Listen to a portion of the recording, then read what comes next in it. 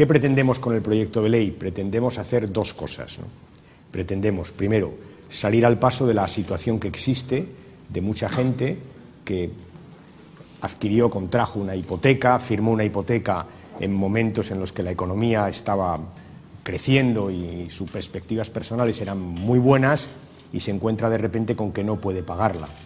Y esa es una tragedia que, acaba en los desahucios, que, es una, un elemento de fractura social. Ahora estamos muy preocupados y yo reitero esto públicamente muchas veces que estamos eh, asistiendo a episodios que demuestran claramente que hay fracturas en España, la social es evidente y este es un tema claro. Cuando alguien pierde su casa y se tiene que ir, y en su casa ha metido años de proyecto personal y proyecto económico, se produce una quiebra que además le coloca en un sitio complicado porque te vas sin trabajo, sin vivienda y no sabes a dónde.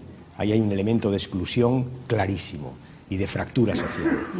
Por tanto, ha habido un número importantísimo de desahucios, hablamos de 400.000 aproximadamente desde el año 97, 400.000, 2007, perdón, 400.000 y es evidente que, este es un tema que la economía no, no parece que vaya a respirar, esto lo dice el propio gobierno, pues es un tema que va a seguir creciendo, creemos que esta ley tiene que salir al paso de esa situación. Por tanto, tratar de evitar desahucios. Ese sería el primer elemento y, en segundo lugar, tratar de evitar que vuelva a pasar lo que ha pasado y es que la gente se endeude más de lo que pueda pagar y, sobre todo, que los bancos acepten cláusulas, deudas, hipotecas que ellos mismos saben que suponen riesgos desmesurados.